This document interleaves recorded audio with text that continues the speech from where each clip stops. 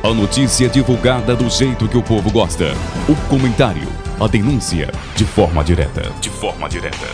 Aqui na Secretaria de Serviços Públicos Municipal de Feira de Santana, vamos entrevistar o secretário Manuel Cordeiro Neto. Ele é que é secretário de Serviço Público da cidade de Feira de Santana. Um problema crucial em Feira de Santana a respeito do lixo. Né?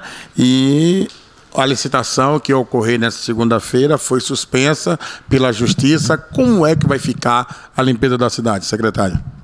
Bom, a limpeza da cidade é bom, é bom essa oportuna entrevista. A limpeza da cidade continua sem interrupções. Não haverá interrupção, atrasos, coisa alguma. Ela hoje continua como ontem e como será amanhã. É, o contrato está acabando agora em fevereiro. Ia ter a licitação. Não teve a licitação. Qual a medida adotada pela Secretaria de Serviço Público, pela Prefeitura, já que vai vencer o contrato? Se vai vencer o contrato, após o vencimento do contrato, como vai ser feita essa limpeza? É, na realidade, não, não, é nem a Secretaria de Serviços Públicos, é aí a área de, de Departamento de Licitações e a Procuradoria Geral é que determinam qual vai ser o processo mas na realidade vai haver uma, um, um outro emergencial. Como é que esse emergencial vai acontecer, a Procuradoria está determinando e deve publicar hoje. É, qual foi a empresa que deu entrada para suspender a licitação que ocorrer? Estava ilegal? O que é que tinha de ilegal nessa licitação que uma empresa deu entrada? Que empresa foi essa que deu entrada?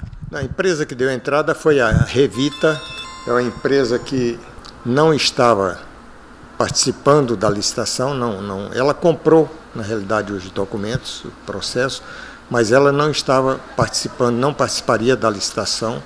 Eu não entendo porque ela entrou com o processo. Agora, o que é que estava errado? Tinha uma palavra legal lá que falava que fala sobre concordata que eles interpretaram que não estava correta e a juíza acatou a decisão deles. Corre o risco dessas empresas, é, Revita, é, Construrban, ser tudo o mesmo proprietário, já que essa história do lixo no Brasil, ela fede, é uma fedentina terrível, secretário? Na realidade, a gente não consegue abrir muito essa cadeia, mas a Construrban não é do grupo Revita. Não tem nada a ver. E o que levou eles, mesmo sem concorrer, entrar para cancelar a licitação, já que não beneficiava aos mesmos? A gente não sabe. Muito provavelmente, entre os seis concorrentes que estavam presentes, deve ter alguém deles. Pode ser que tenha alguém deles. É, a partir de agora, qual as providências adotadas pela Secretaria? Quando é que vence o contrato definitivo, agora no mês de fevereiro, da Construrban?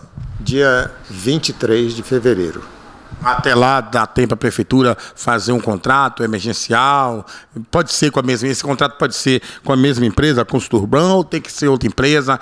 É, o que vai ser adotado? A Procuradoria e a Secretaria de Administração estão vendo essa, esse aspecto legal, mas o tempo é hábil. Há tempo suficiente para que isso ocorra. No caso, no caso, no, no, não havendo tempo, o, o senhor tem um plano emergencial já na gola da camisa para não deixar com que a cidade é, ela fica, re, fique repleta de lixo? O senhor já, já está se preparando para um plano emergencial no caso de outra liminar, é, é, não dando poderes à prefeitura fazer esse contrato logo de imediato? O senhor tem um plano emergencial? Porque tem que se preparar para tudo.